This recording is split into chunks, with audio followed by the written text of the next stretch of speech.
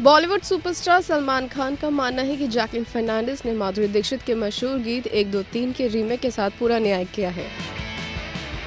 अपने आधिकारिक Twitter handle पर वीडियो का लिंक साझा करते हुए सलमान ने लिखा,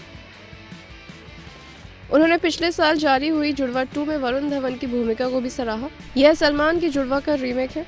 एक दो तीन का रीमेक आगामी फ़िल्म बागी टू का हिस्सा है, जिसे जैकलिन और प्रतीक बब्बर पर फिल्माया गया है। यह गीत मूल रूप से फ़िल्म तेजाब में माधुरी पर फिल्माया गया था। इसकी कोरियोग्राफी सरोज खान ने की थी। यूट्यूब पर सोमवार को गीत जारी होने के बाद सोशल मीडिया पर प्रशंसकों ने नकारात्मक प्रतिक्रिया दी है।